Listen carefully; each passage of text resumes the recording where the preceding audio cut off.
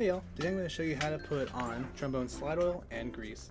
So first things first with the slide oil is you want to have your trombone slide oil and then your slide grease. And then obviously your trombone. So first things first, we're going to undo the slide lock so we can pull it out. Get our trombone slide oil and put just a little bit on there, squeeze some of it out there towards the top put it on both sides.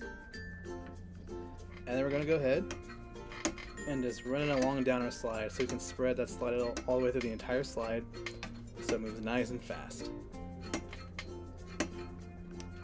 Once we've done that, go ahead and lock our slide. Make sure it's nice and locked. Then we're to take off the top slide up here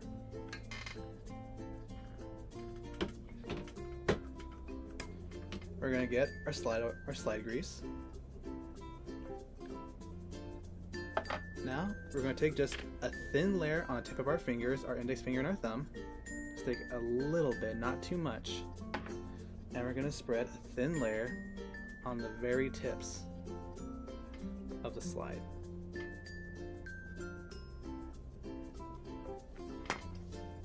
Now, just for more safety, if you want, before you do this part, you can put your trombone on the ground safely before you actually apply it. And once you're ready, you can pick your trombone up and put the slide back in. So now we're gonna put this back in. Oh, wrong way. Make sure the thick end goes for the thick, the thick part and the thin end goes for the thin part. Don't try to flip it around, it's not gonna work. And go ahead and slide that right in. You're gonna wanna spread it a little bit. The reason to put a little bit on the end of the slide, so once we put it back in, the slide grease is to go up and get all over the rest of the slide. Put up a little too much. Alright, and now that you've done that, you may want to wash your hands a little bit to get the slide grease off your fingers.